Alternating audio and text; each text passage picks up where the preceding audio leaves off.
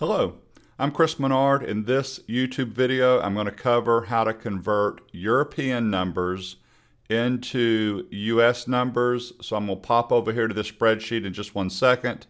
But in case you're wondering, a European number may look something like this, 204, and instead of a comma, it'll have a period, 126, comma, 37.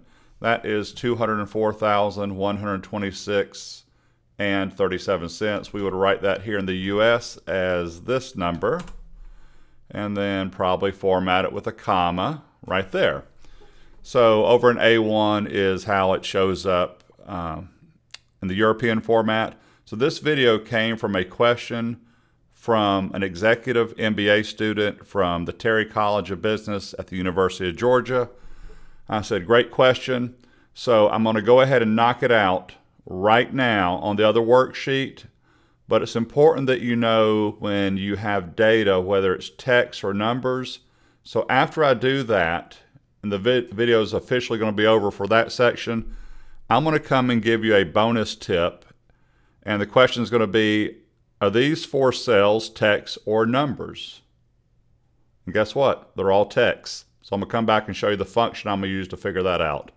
But here we go with the question from the executive MBA student.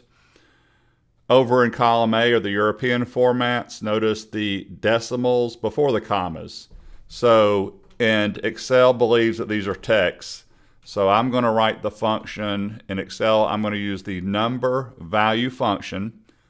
There are three arguments in this function. Only one is required. So there's the definition. I'm going to press tab after I did equals NU. It says number value tab. There are the three arguments I'm talking about. The first argument's required, the other two are optional, but I do need all three arguments for this one. So I'm trying to convert this text in A2. Notice it's on text and it's bold. When I do a comma, it goes to the second argument, which is the decimal separator. I'm going to do quotes, comma, quotes. So change any decimals to commas.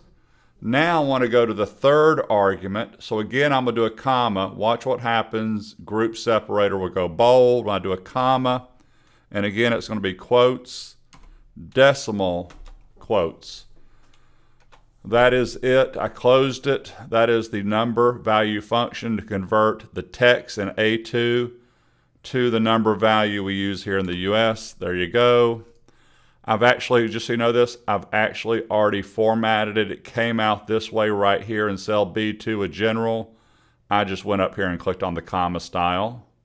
Crosshairs, double click, or drag down in this example. Uh, the last step would be a copy, paste values back in A. Real quick, copy, paste values.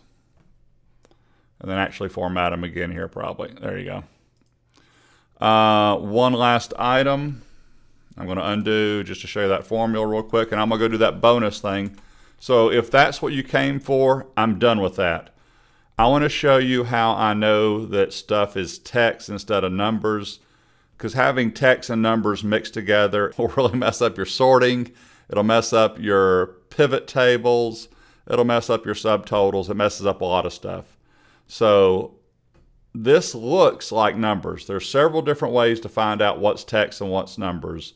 But one of my favorites is to just highlight what I already have so I don't have to go write something in column D next to it. I'm going to use the is text function. So conditional formatting. I'm going to write a new rule. I'm going to use a formula and I'm going to use the is text function equals is text. It's going to tell me is this text. The first cell that I've got selected is C4. Microsoft made that absolute reference dollar sign C dollar sign 4. I'm going to use just a dollar sign in front of the C but not in front of the 4. That is a mixed reference. I have frozen column C but not the rows. So that is it right there. Go to Format you can do whatever you want to. I'm going to use a fill color and I'm going to just put it in yellow. So anything, click OK. Anything that's text should be in a yellow background. Those two items that look like numbers are actually text. That just proved it. Watch this. So I know I need to fix these and say, oh, that is supposed to be 504. 504, enter. 936, enter. 3, enter. 1, enter. Type my name again. So there's your is text function to find out if stuff is text. There's other ways too, by the way. I appreciate your time. If you have any questions about this number value function or the is text function, let me know. This file will be in my YouTube description so you can download it. Thank you for your time. Have a wonderful day.